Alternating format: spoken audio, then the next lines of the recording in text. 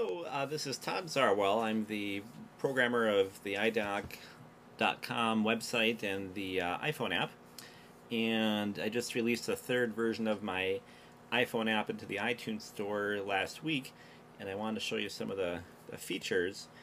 I'm calling this version 1.0 finally because uh, it finally has all the features that I wanted it to when I initially started out creating this app and the most recent addition is uh, calculators and tables. So um, I'll start at the bottom here. The first there's a diopters to millimeters converter, and it's pretty simple. Just click on here. Uh, I made a little custom keyboard because I never liked the keyboard, the number keyboard that is automatic on the iPhone, so I made this little custom keyboard. And in this uh, box, you can enter uh, measurements in either millimeters or um, diopters. So if I say 45.25 uh, diopters, it'll convert it to millimeters. Or if I enter 8.1 millimeters, it'll convert it to diopters. Uh, so pretty simple. Also, if you would rather look at a table, there's a conversion table that I tried to give a very large range, all the way up from 65, I believe I went down to 30 so you can get the really high cones or the really flat post uh, um, refractive surgery corneas. And then I have a vertex converter, and unlike a lot of vertex converters, you can enter a whole refraction in this uh, field. So if we say minus 9, minus 3.75, axis 84, click go, it'll convert that. And uh, if you want to toggle between plus cyl and minus cyl, you have that option.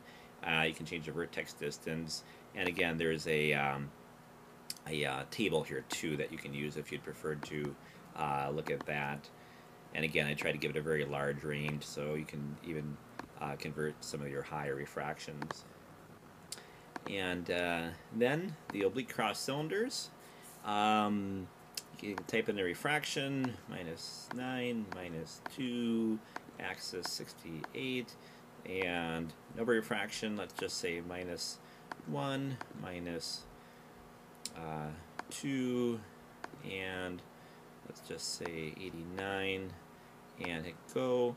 Um, it'll give you a result, or if the um, if uh, the lens is rotating, you can change that. It'll give you a live um, uh, calculation as you do that too. And of course, here I have to use a mouse on this demo, but of course on, on the real phone you'd be using your finger to swipe that lens. And I think I made it pretty intuitive. And then lastly is uh, contact lens design, which is contact lens calculators. And again, you can type in a refraction. Let's just say minus 9, minus 2 times 87 and then keratometry 41 let's just say 43.5 at uh, 90 and then you can type uh, it made it so you can calculate any type of lens. So uh, soft spherical it'll give you a power diameter uh, base curve which um, of course uh, are usually pretty standard on these lenses some advice. Um, with this much refractive cyl, a toric lens would be a better choice. That's probably pretty obvious. Uh, but then I also made it so that you can um, search for lenses with these parameters too. So it goes right to the contact lens searches. It's already entered your power that you're looking for, and you can just do a simple search of lenses. It'll give you lenses that come in that power, which may not be as needed for lower powered lenses, but sometimes that can be very helpful for the high powered ones, especially the torics. Um, you can also do soft toric lenses, um, uh, rigid lenses, a spherical lens. Um, it suggests a power, base curve, diameter, um, uh, more advice. And uh, even the torics, Bitoric, it largely just uses the Mandell-Moore method for that calculation. Um, pretty standard, but just makes it easier. Then the more fancy torics, the back toric, the front toric, um, calculations for that too, something that none of us do as frequently um, and uh, might be uh, very useful in some cases. I even have a calculator for a front toric lens, which probably isn't the best idea to calculate this empirically because there's so many factors, including how they rotate on the eyes. But um, if you have the need to do it, you can do it here.